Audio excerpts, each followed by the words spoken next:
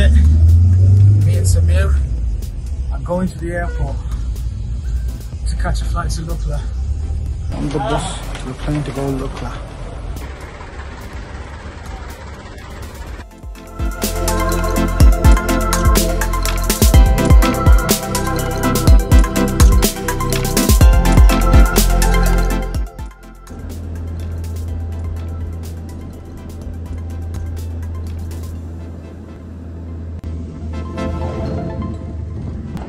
This is day three from Lukla Airport. We just landed here. Um, me and Sasir.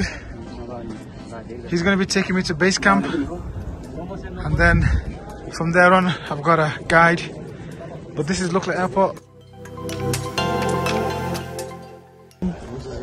Acclimatized as advised by the adventure company. First overnight stay. Uh, this is 2,610 meters. Uh, we're going to spend the night here.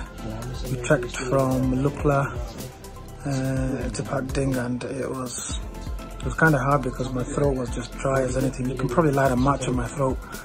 Uh, I did find it quite hard because I'm fasting and I didn't get any sleep last night. So I'm just going to rest as much as possible now and then hopefully evaluate the situation tomorrow when I fast, inshallah. See you out.